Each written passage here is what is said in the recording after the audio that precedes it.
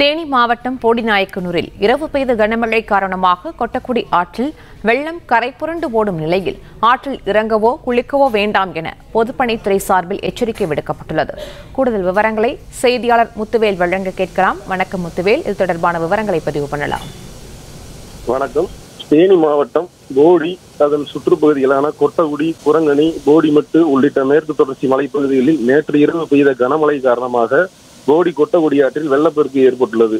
போடியில் ஐம்பத்தி நான்கு மில்லிமீட்டர் மழை பதிவாகியுள்ள நிலையில் பெரும்பாலான நீர்நிலைகள் நிரம்பியுள்ளதால் வரும் நீரானது கொட்டகுடி ஆற்றில் அமைந்துள்ள அணைப்பிள்ளையார் தடுப்பணை வழியாக வைகை அணை நோக்கி திருப்பிடப்பட்டுள்ளதால் மழை நீரானது அருவி போல் ஆர்ப்படுத்தி செல்கிறது. இதனால் கொட்டகுடி ஆற்றில் யாரும் இறங்கவோ குளிக்கவோ வேண்டாம் என பொதுப்பணித்துறை மற்றும் தேனி மாவட்ட நிர்வாகம் சார்பில் தெரிவிக்கப்பட்டுள்ளது சார்.